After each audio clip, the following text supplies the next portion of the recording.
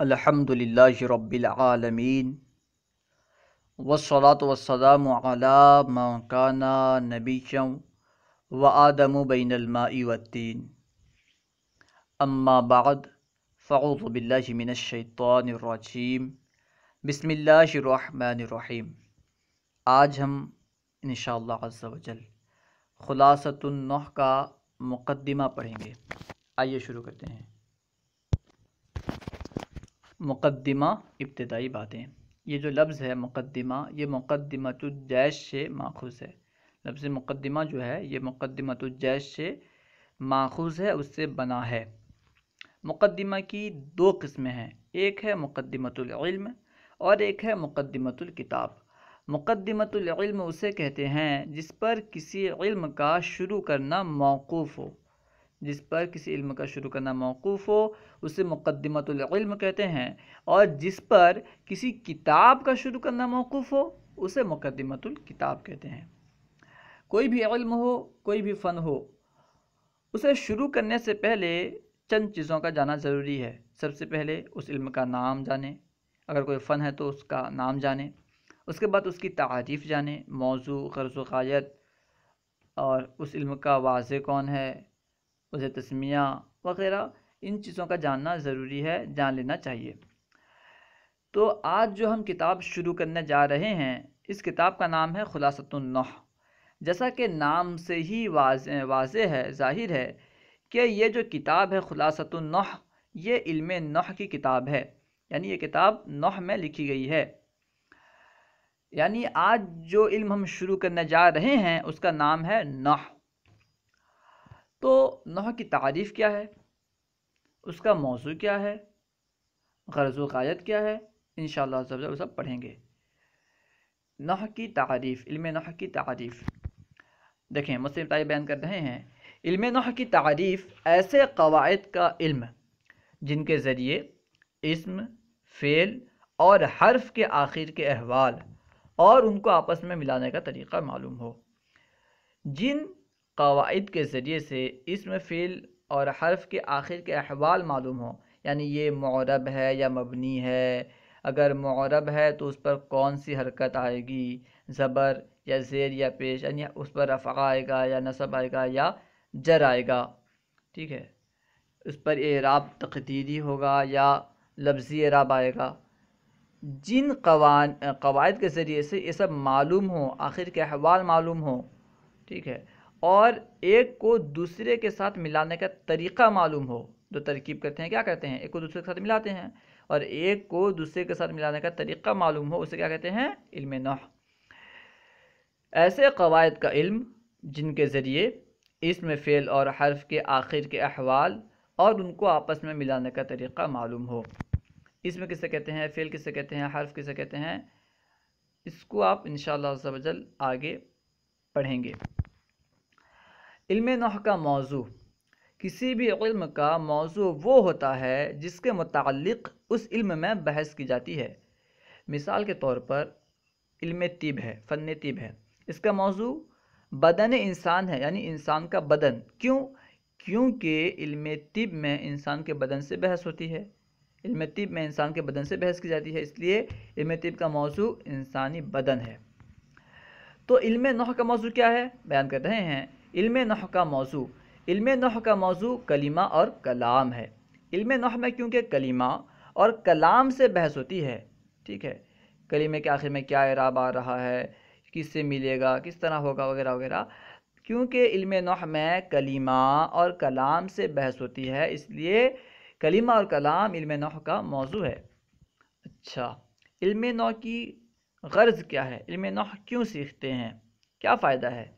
بتا رہے ہیں، علم نحو کی غرض، قرآن و سنت کا فہم اور عربی زبان میں لفظی غلطی سے بچنا۔ یعنی نحو کی غرض یہ ہے کہ ہم اس کے ذریعے سے قرآن اور سنت یعنی سنت سے مراد کیا ہے؟ حدیث پاک، قرآن اور حدیث پاک کو سمجھیں۔ قرآن اور حدیث کا سمجھنا علم نحو کی غرض ہے اور لفظی غلطی سے بچنا یہ بھی اس کی غرض ہے۔ کیونکہ جو عالم نح ہوتا ہے، وہ لفظی غلطی نہیں کرتا۔ وہ اعرابی غلطی نہیں کرتا۔ تو علم نحو کی غرض کیا ہوئی؟ قرآن و سنت کا فہم اور عربی زبان میں لفظی غلطی سے بچنا یعنی قرآن و حدیث کو سمجھنا اور لفظی غلطی سے بچنا، یہ علم نحو کی غرض ہے۔ تسمیہ اور وجہ تسمیہ۔ تسمیہ یعنی نام رکھنا، وجہ تسمیہ یعنی علم نوح کو نوح کیوں کہا جاتا ہے؟ دوسرا کوئی نام کیوں نہیں رکھا گیا اس کا؟ علم نوح کیوں کہا گیا اسے؟ بیان کر رہے ہیں۔ نمبر ایک، نوح کا ایک معنی طریقہ اور مثل ہے کیونکہ اس علم کو جاننے والا عرب کے طریقے اور انہی کے مثل کلام کرتا ہے، اس لیے اسے علم علم النوح کہتے ہیں۔ علم النوح کو علم النوح کیوں کہتے ہیں؟ کیونکہ نوح کا ایک معنی طریقہ اور مثل ہے اور اس علم کو جاننے والا عرب کے طریقے اور انہی کے مثل کلام کرتا ہے، گفتگو کرتا ہے۔ اسی وجہ سے اس علم کو کیا کہتے ہیں؟ علم نح کہتے ہیں۔ نمبر دو، دوسری وجہ تسمیہ کیا ہے؟ اس علم میں کلمے کے آخر سے بحث کی جاتی ہے، اس لیے اسے علم الاعراب بھی کہتے ہیں۔ اس کا دوسرا نام کیا ہے؟ علم الاعراب علم النح کا دوسرا نام ہے علم الاعراب کیونکہ اس علم میں کلمے کے اعراب سے بحث کی جاتی ہے۔ کلمے میں کون سا اعراب آئے گا؟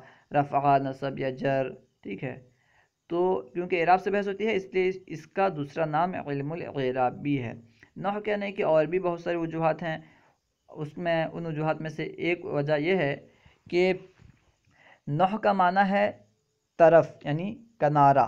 کیونکہ اس علم میں کلیمے کے کنارے سے یعنی آخر سے بحث کی جاتی ہے، اس لیے اس علم کو علم النح کہتے ہیں۔ نح کا معنی ہوتا ہے کنارہ، کیونکہ اس علم میں کلیمے کے کنارے سے بحث کی جاتی ہے، اس لیے اسے علم النح کہتے ہیں۔ اور ایک وجہ تسمیہ یہ ہے کہ لفظ نح کا ایک معنی ہے ارادہ، ٹھیک ہے نح کا معنی ہے ارادہ کرنا۔ جس نے اس علم کو وضاح کرنے کا ارادہ کیا، اس نے نحوتو کا لفظ بولا تھا، لفظ نحوتو کہا تھا یعنی میں نے ارادہ کیا۔ اسی وجہ سے اس علم کا نام نح ہو گیا، ٹھیک ہے۔ خیر، مرتبہ مرتبہ علم نح یعنی اس علم کو، علم نح کو کب سیکھنا چاہیے؟ اس کا مرتبہ کب ہے؟ علم نح ہاں، مرتبہ علم نح اسے کب حاصل کرنا چاہیے؟ علم نح علم صرف کے بعد اور علم بلاغت وغیرہ سے پہلے حاصل کرنا چاہیے۔ علم نح کو علم صرف کے بعد حاصل کرنا چاہیے اور علم بلاغت وغیرہ سے پہلے حاصل کرنا چاہیے۔ علم نح کا حکم، علم نح کا حکم کیا ہے؟ بیان کر رہے ہیں۔ کہ علم نو حاصل کرنا واجب عدل کفایہ ہے۔ علم نو حاصل کرنا واجب عدل کفایہ ہے۔ اگر کوئی حاصل نہیں کریں گے تو گنہگار ہوں گے۔ اگر کوئی ایک حاصل کر لے تو پھر سب چھٹکارا پالیں گے۔ ما بہل استمداد یعنی وہ چیز جس سے نوح کے قواعد بنائے اور ثابت کیے جاتے ہیں۔ نوح کے قواعد کس سے بنائے جاتے ہیں؟ کس سے ثابت کیے جاتے ہیں؟ اسے بیان کر رہے ہیں۔ ما بہل استمداد، ٹھیک ہے۔ نحو کے قواعد بنانے اور ان کو ثابت کرنے کے لیے قرآن و حدیث اور خالص کلام عرب سے مدد لی جاتی ہے۔ نحو کے قواعد کیسے بنائے جاتے ہیں؟ قرآن و حدیث سے اور خالص کلام عرب سے۔ خالص عرب کے کلام سے علم نحو کے قواعد بنائے جاتے ہیں، ٹھیک ہے۔ علم نحو کا واضح یعنی علم نحو کو وضع کرنے والا، بنانے والا کون ہے؟ علم نحو کے واضح میں تین نام آتے ہیں۔ علم نحو کو واضح، علم نحو کو کے وضع کرنے میں یعنی علم نحو کے واضح میں تین نام آتے ہیں۔ نمبر ایک، خلیفہ ثانی سیدنا عمر بن خطاب رضی اللہ تعالیٰ عنہ۔ آپ کا نام بھی علم نحو کے وضع میں آتا ہے کہ آپ نے علم نحو کو وضع کیا تھا۔ نمبر دو، خلیفہ رابع سیدنا سیدنا علی بن ابی طالب یعنی حضرت علی رضی اللہ تعالیٰ عنہ کا نام بھی آتا ہے کہ آپ نے علم نحو وضاح کیا یعنی آپ علم نحو کے واضح ہیں۔ نمبر تین ہے سیدنا ابو الاسود دویلی یہ تیسرا نام ہے۔ یہ تینوں کا نام علم نحو کے واضح میں آتا ہے، ٹھیک ہے۔ مشہور نحات چند مشہور نحات کا نام بیان کر رہے ہیں۔